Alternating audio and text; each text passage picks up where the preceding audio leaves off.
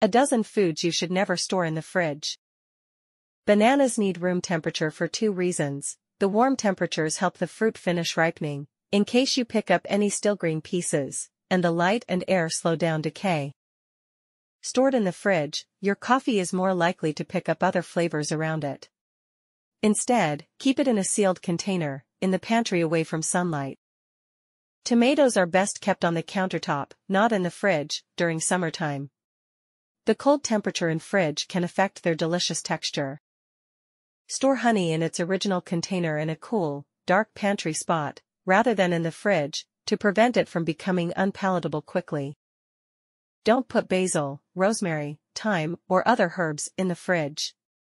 It makes them lose flavor and dry out. Instead, put them in a glass with a bit of water on your countertop, away from sunlight.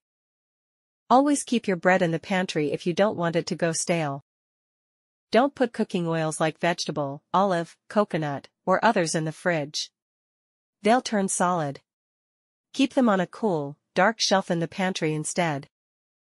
For melons, the counter is the best spot until you cut them up, then store them in the fridge.